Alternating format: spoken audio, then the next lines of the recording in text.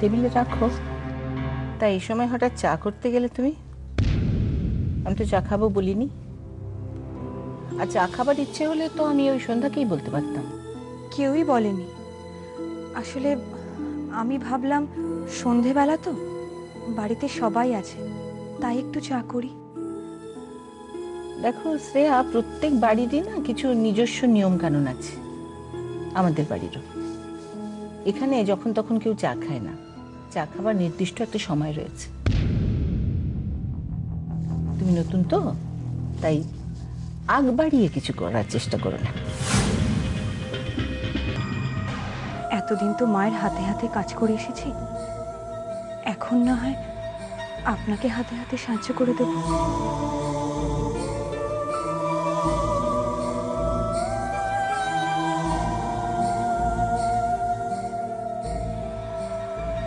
শ্রেয়া, ওই যে আমি তোমাকে বললাম, প্রত্যেক বাড়িতেই কিছু নিজস্ব নিয়ম কানুন থাকে।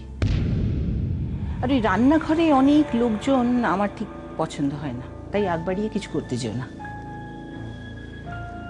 আগ বাড়িয়ে কাজ করে তুমি কাকে কতটা খুশি করতে পারবে আমি জানি না, তবে আমি যে খুশি হব না, সেটা তোমার আজকেই জেনে রাখা ভালো।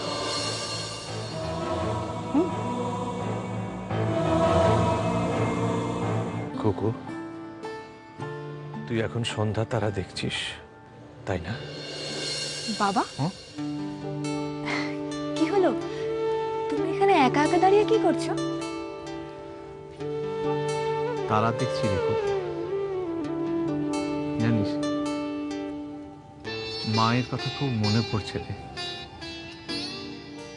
ছেলেবেলায় মা যখন দাদুর বাড়িতে যেত তখন আমরা সবাই মিলে বড় জেঠিমার কাছে থাকতাম। মা দাদুর বাড়িতে যাবে শুনে আমি খুব কান্নাকাটি করতাম। আর মা তখন আমাকে দেখে নিয়ে ছাদে নিয়ে আসতো। নিয়ে এসে আমাকে বলতো যে আমি যখন দাদুর বাড়ি যাব তখন তখন তো ওই ওই আকাশের দিকে তাকিয়ে ওই যে তারাটা জল জল করছে, তার দিকে তাকিয়ে থাকবি। আর আমিও তখন ওই তারার দিকে তাকিয়ে থাকব। তাহলে তুই আর আমি আর দূরে থাকব না। বাবা, আমি তোমার কাছ থেকে দূরে সরে যাইনি। এই তো, তোমার কাছেই আছি আমি।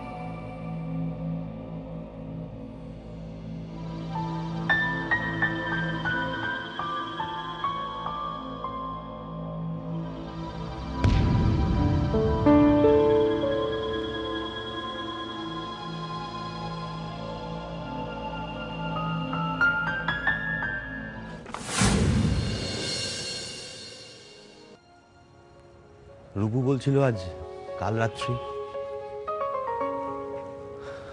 আজ নাকি আমাদের দেখা হওয়া বারণ। আজও আমাদের দেখা হলো। আমাদের তো সবকিছুই অন্য রকম।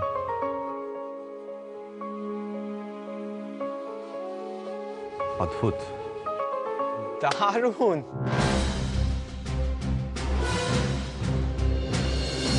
এতক্ষণ যখন আমি তোকে বললাম তখন এমন ভাব দেখালি যে বৌদির সঙ্গে তুই না দেখা করেও আরামসে থাকতে পারবি। কিন্তু এখন লুকিয়ে লুকিয়ে মিট করা হচ্ছে হ্যাঁ? আরে কি রে? তোর মনের কথাটা মুখ ফুটে একটু বলতে পারলি না? আরে বললে কি ক্রিমিনাল অফেন্স হতো না চুপ কর না। আমি তোদের কেস খাওয়াবই। রূপদিকে সব বলব। এই রূপদি! কি করছিস? তোমরা রাত বিরাতে প্রেম করবে সবাইকে জানাব আমি। রূপদি! সব সময় ফাজলামা ভালো লাগে না কিন্তু। আমি ছিলাম বলে বেঁচে গেলি। আমি। তোদের যা হিন্তু দেখছি, কাল রাত্রিতেই ফুলসজ্জা করে ফেলবি।